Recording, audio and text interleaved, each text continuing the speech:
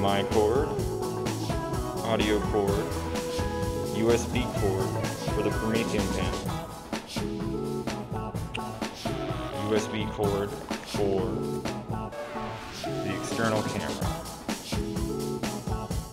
In Zoom, to change the camera, I go to the stop video button over here, go to this up arrow, and click video settings.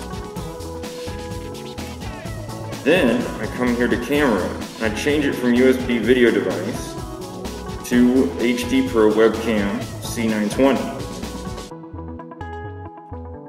And there it is.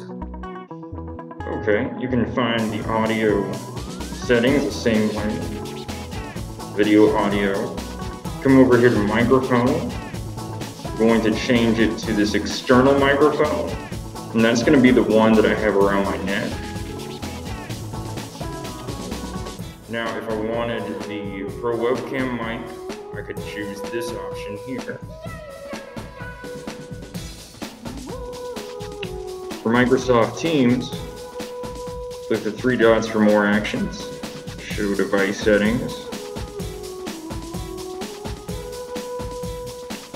For camera, change to HD Pro Webcam. For microphone, change to external microphone. Or for webcam microphone,